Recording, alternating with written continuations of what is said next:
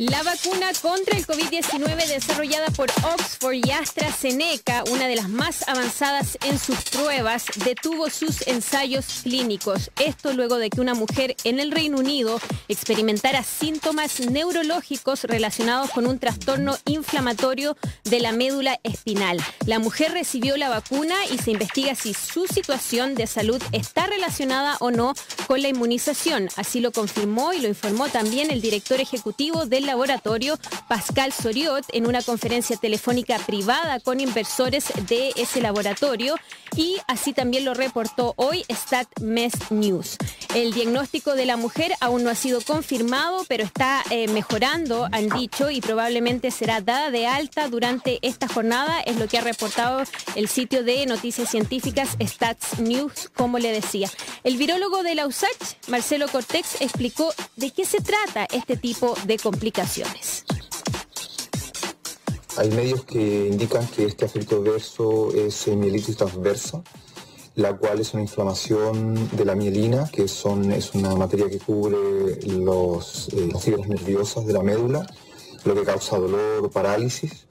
Y, esta, y este efecto adverso provocó la pausa de, los ensayos de la fase 3 de, de esta vacuna lo cual indica que, los procesos están funcionando correctamente, que es eh, algo normal, esta sería la segunda vez que se suspenden los ensayos, hay que investigar qué es lo que está ocurriendo con esta, persona, pero, pero sobre todo yo creo que hay que llamar a la calma, es algo que es normal.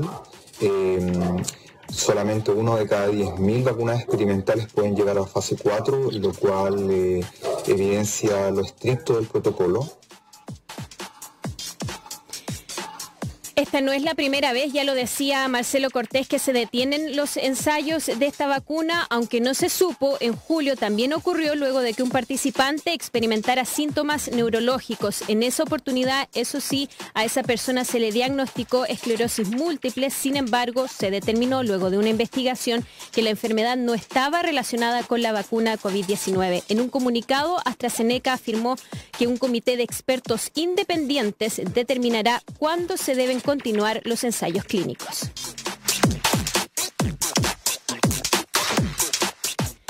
El último informe del Ministerio de Salud reveló 1.482 casos nuevos de coronavirus. Con ello, el total de contagiados supera los 427.000 desde el inicio de la pandemia en el país. De esa cifra, más de 15.000 son casos activos, es decir, pueden contagiar a otros. Basado en los datos de su Departamento de Estadísticas e Información, el Ministerio de Salud informó el deceso de otras 20 personas a consecuencia del coronavirus en la última jornada. Así, el total de fallecidos, según el DEIS, ascendió a 11.000 1.702 decesos confirmados todos con examen de PCR y como siempre les decimos cada día nuestros cariños a las familias de quienes han partido durante esta pandemia. El gobierno de nuestro país anunció también que se avanza a fase de transición en Isla de Maipo, Quilicura, San Bernardo y que avanza de transición a preparación la comuna de La Reina.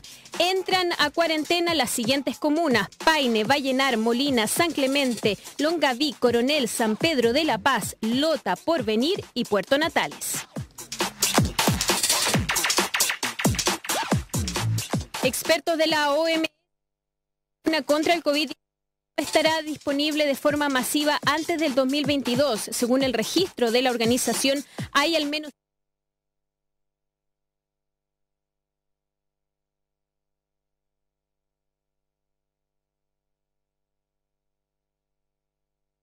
En Chile, el ministro de Salud Enrique París calificó la apreciación de los expertos de la OMS como innecesaria y agregó que no es bueno crear esa inquietud en la población.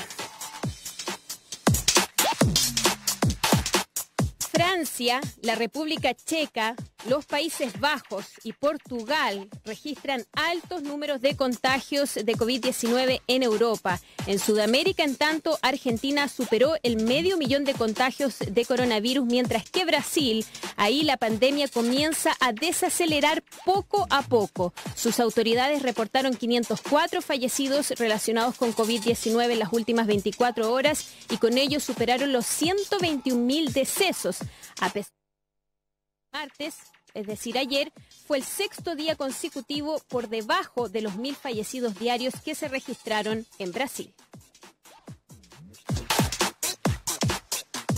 Último informe de las Naciones Unidas reveló una caída del 17% en las emisiones diarias de CO2 a nivel mundial. Esto ocurrió en abril en comparación con el mismo mes del 2019. Sin embargo, eso no ha logrado detener la crisis climática. A principios de junio, cuando las fábricas y oficinas volvieron a abrir en distintas partes del mundo, las emisiones volvieron a subir en un 5% respecto de los niveles del año pasado. Y por último, Científicos han probado la cámara gigante que se instalará en el Observatorio Vera Rubin en Chile con un brócoli. Asimismo, las intrincadas formas de este vegetal son una buena prueba que permite capturar muchos detalles y con ello probar el rendimiento de esta cámara, de este instrumento. Este dispositivo de 3,2 gigapíxeles ayudará a mapear el cielo y acercarnos a la comprensión de, por ejemplo, temas como qué es la energía oscura y qué es la materia oscura cósmica.